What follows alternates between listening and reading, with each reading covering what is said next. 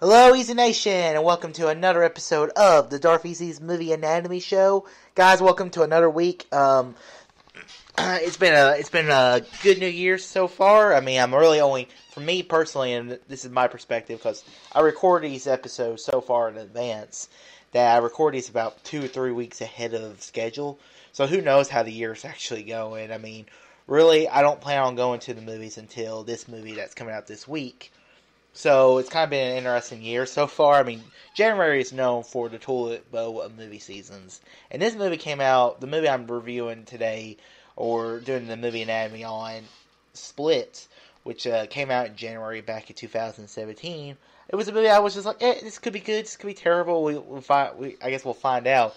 But Glass, I am so excited. If you listen to the Easy Cage podcast, me and Rainy Cage, we did a top 10 anticipated films for this year. And Glass was my number two because Split was so good and and I was just so looking forward to Glass. So, guys, this week's episode is we're covering the movie Split.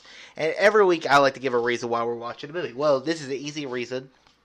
Glass is being released this week and that means I think I should. Re- I think I should talk about Split. I could talk about Unbreakable, but I've only seen Unbreakable one time. I actually just watched it this week. I actually have a review of Unbreakable right now on my YouTube channel, so you can check out that video right now. But I have done reviews for both Split, and I did a spoilers review for Split. Split was actually the first spoiler review I ever did because I couldn't really talk about the film without going into spoilers. Because if you don't talk about spoilers, they're like, "Oh, okay, this is a okay movie," but you know, I I can't really talk about why I like it. So yeah, so guys, uh, so guys, yeah, let's get right into this. Let's uh, watch the trailer for this film. All right. I haven't seen this in a couple years. It's kind of cool revisiting some of these trailers. So it shows the scene with them in the car. I want to know what that dag is he knocks them out with. I mean, uh, I think that would come in handy at work sometimes.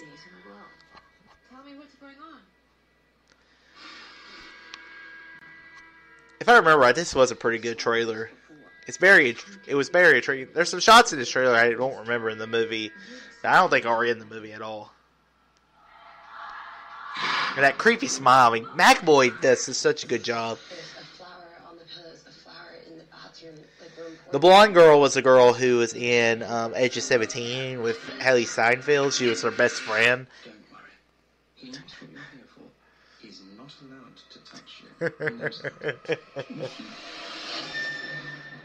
My name's Hedwig. My name's Hedwig, etc etc. The human brain is the most complex oh, Shyamalan. in the universe. This is a good trailer because it makes it look it makes you think it's a thriller, it's a horror movie, but really it's it is a thriller though. I mean, I'll get into it in a little bit. Okay. This is probably McAvoy's best film he's ever been in because he is so he is so good in this film. So you could leave? This January. with multiple personalities can change their body chemistry with their thoughts. Someone's coming for you. what will happen when he unlocks the potential of his brain? There is no limit to what he can become. Tonight is a sacred night. You will be in the presence of something greater. The world will understand now. The beast is real.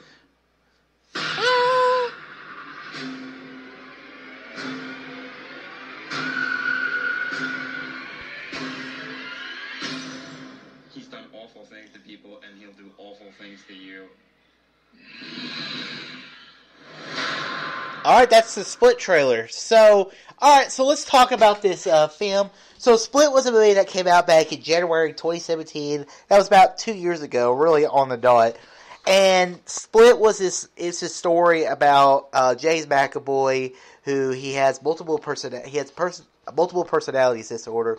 In the movie, he has about 23 personalities in his head, and basically he uh, a couple of the personalities have rebelled against the other personalities, and they've basically gone rogue and they've kidnapped these three innocent, unpure girls, as uh, they say. and basically he he's they're holding them for some reason that really don't know. I mean, you think of it, it it's basically it's a really cool little psychological thriller film with a guy who has multiple voices in his head. I mean that that sounds like a pretty interesting horror film in its own. But then the film it evolves into some other things. There's all these these Easter eggs I'll talk about in a minute.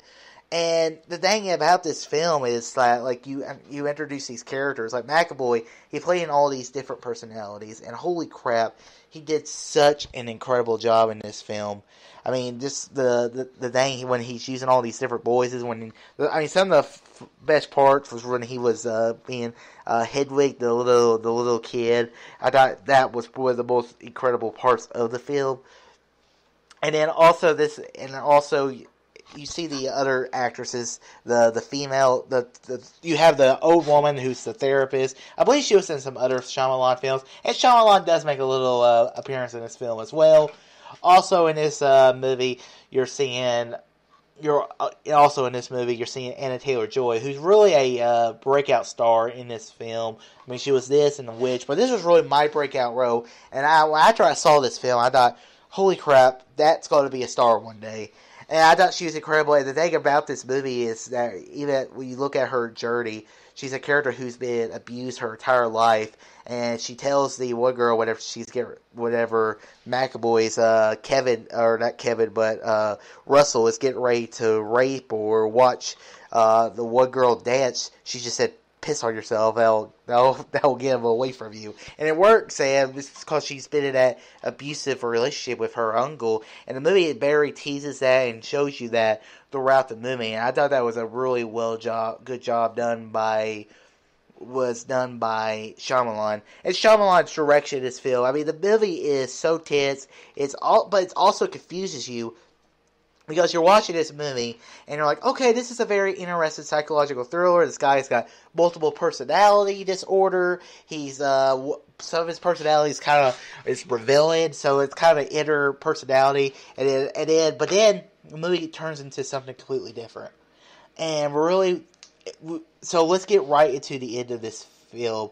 Well, actually, let's let's hold off the end of the film for a second because I do want to get to the part when the two the two Patricia and Russell, they they basically they and Kevin they they all join up the horde, this horde alliance, and they're able to to summon the beast, the twenty fourth personality, and it's this thing has like superhuman abilities, and you really you're just thinking like, okay, this is this is getting weird because the movie set itself really well into reality, and then that happens, and then you're just like, what what, am I what the crap am I watching right now? And and then uh, the beast he basically he's uh, he's he's feeding all the, the, the girls and and Taylor Joy is trying to run away and the monster has a the weakness whatever you call the uh, whatever he says the name and the beast is getting ready to kill Anna Taylor Joy's character but she sees that he sees that she has scars and he says I can't I can't touch you because you are you are pure because brokenness uh, is the thing that makes true beauty true beauty in, in a person. And so he gets away and everyone's looking for this beast and but then now I can get to the part now I can get to the ending of this film. So I just watched Unbreakable for the first time yesterday. So I watched Split not knowing that I needed to watch Unbreakable. So I watched Split and then uh, the first time, and I saw the diner scene, and you see you see uh, Bruce Willis's character of the Unbreakable David David is in there, and you're like, holy crap, this is connected to the Unbreakable movie, which means this is a sequel, which completely changes this film. This film is not a a suspenseful thriller, psychological thriller movie. It is, but it's also a supervillain's origin story. And that's the thing that's incredible about this film. The second time I've watched it, this is the second time I've watched Split, because I haven't seen this movie since I see it in theaters. Really liked the movie. It just I haven't really had time to watch it. Been lazy, you know. But I've had this movie for a, uh, probably a year on Blu-ray by now. But we, for me, I'm a score junkie. I love a good score, and I li- I really like the Unbreakable score.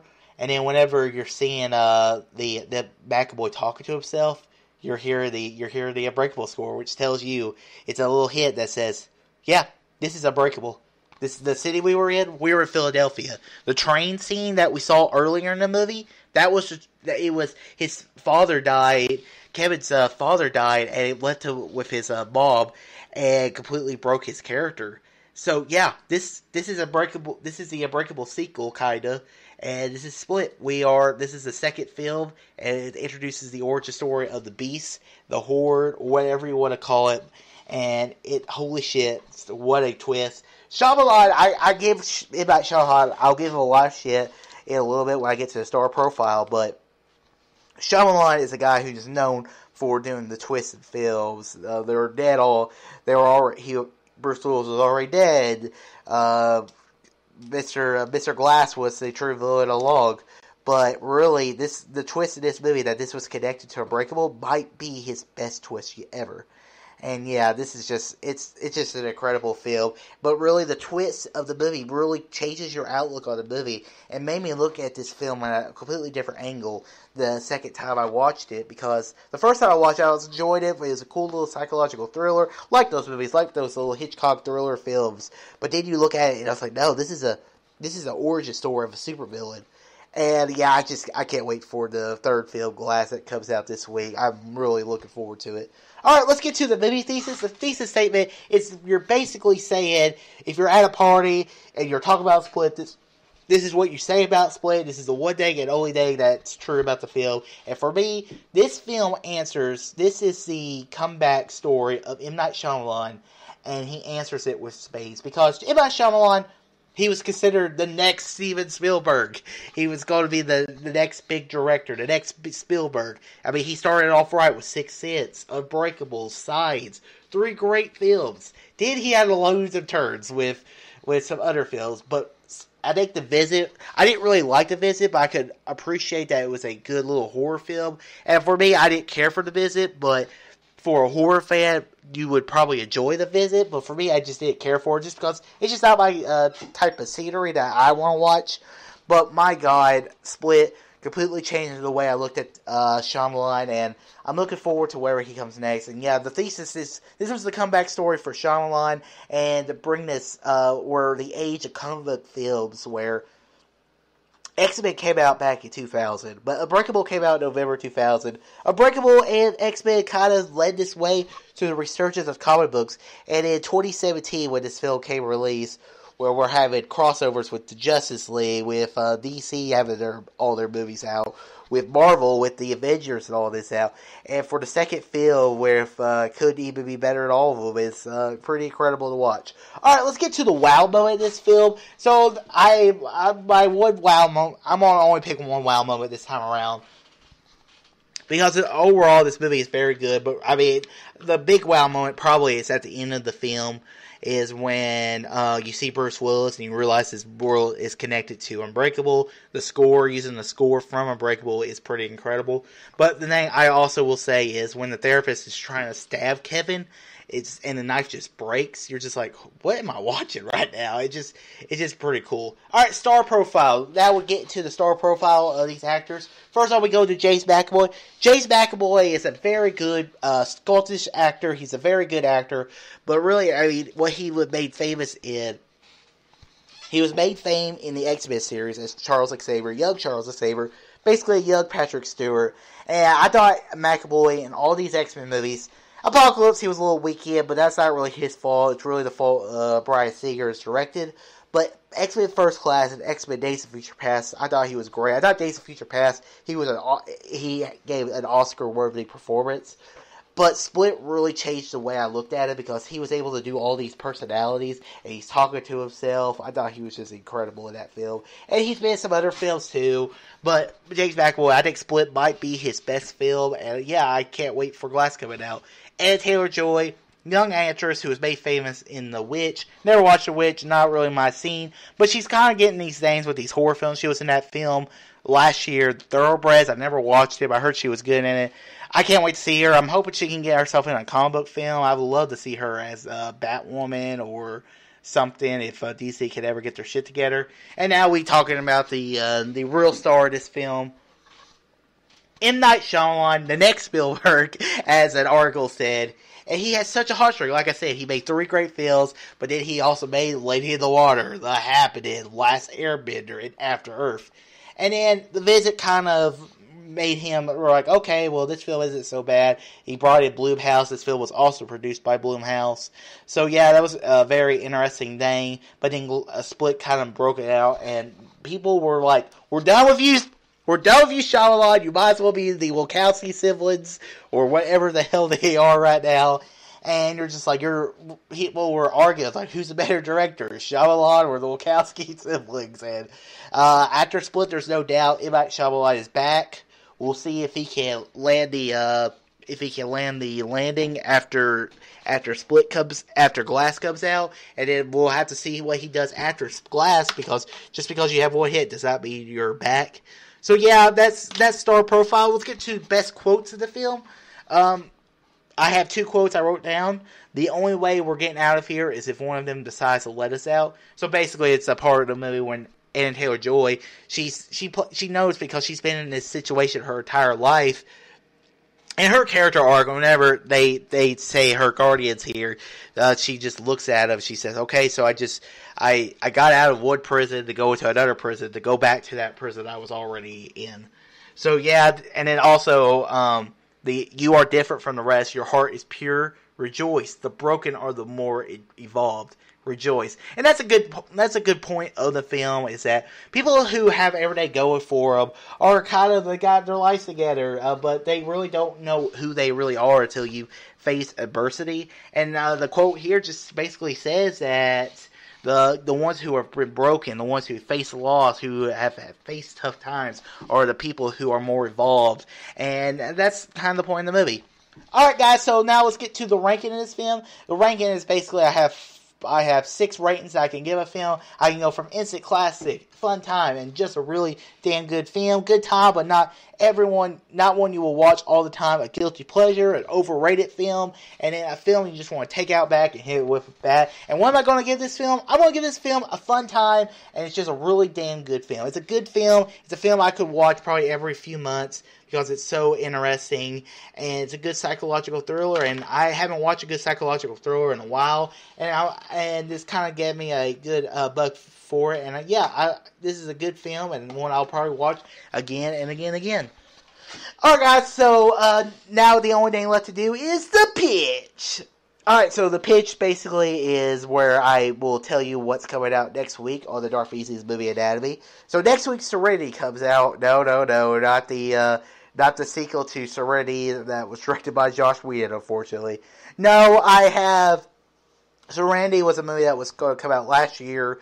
It was going to be with Matthew McConaughey and Anne Hathaway, and it just didn't come out, and it's probably going to be terrible. I probably will not be seeing this film, but doesn't mean I can't give you a good excuse. So this week, next week, I'll be rewatch. I'll be watching Interstellar uh, movie directed by Christopher Nolan. Both had Matthew McConaughey and Anne Hathaway in it, so it's a perfect perfect excuse to rewatch those movies. So, guys, that is another episode of Darth Easy's Movie Anatomy. Comment below what you thought of Split, what what I what you thought I said about Split, and comment your own comments below. Just tell me what you thought, and keep this uh, keep this uh, series going, and I can keep uh, doing more and more of these. So, guys, until next week, all too easy.